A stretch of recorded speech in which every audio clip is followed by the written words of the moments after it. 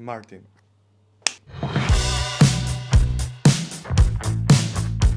First of all, um, I got the role, the leading role by casting.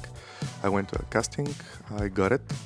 Um, the casting was uh, very interesting. It was my first uh, improvised one because you know mostly every casting agency uh, sends you a script or something you have to prepare but now this time they only told me uh, on the phone just come here with nothing uh, it, it's going to be an improvisation and i was like okay and uh, in fact there there there was like two three minutes when they told me um, you're going to think of some story about trafficking of people uh, something like kidnapping or labor trafficking.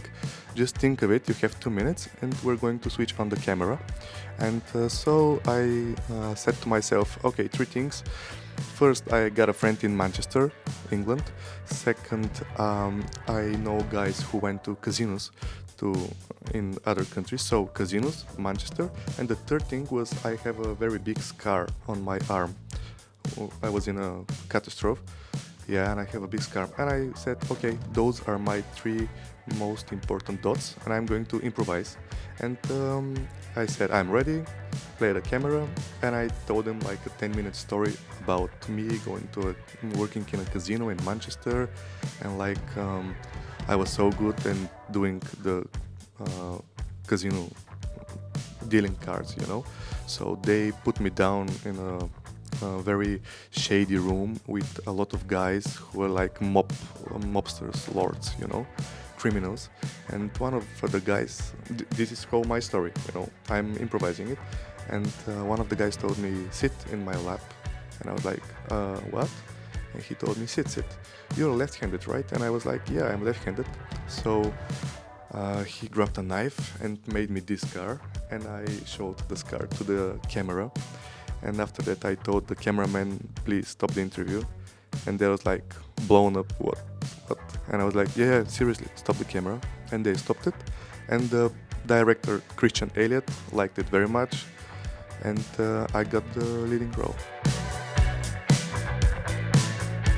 It is based on uh, true stories. My uh, character is called Rosen in the film. It is completely based on a true story. There is actual Bulgarian who was a victim of a traffic laboring. Um, and the organization A21, it's a global anti-trafficking people organization. They contacted him, they collected the story, and um, together with the directors Christian Elliott and El Ginter, they mm, wrote the script and it is based on actual real story about a guy who was labor trafficked.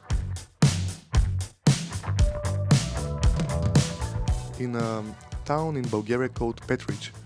It's near the Greek border. So we shot it there for like five days. Um, it was very, very mm, big team for a short movie. It's like more than 60 people, which is uh, the biggest team I've worked in, considering it's a short film, it's not a feature film. Um, very professional, everything was very organized. The producer were, was all the time on the set, which is admirable. Um, the, the guys who uh, were the crew, they're actually Bulgarian crew. So uh, the producer was mm, American guy who is living in Bulgaria, and both the directors were foreigners. And uh, they came and shot the film in Petrich, a small Bulgarian town.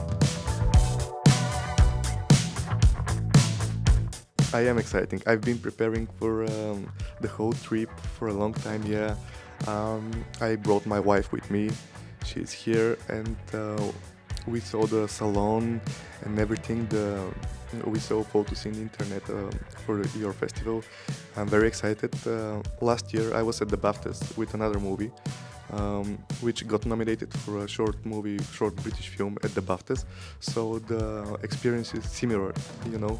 It's like the red carpet, all the uh, fancy looking uh, uh, furniture and everything. The people coming here with tuxedos and dresses and all. It's very exciting.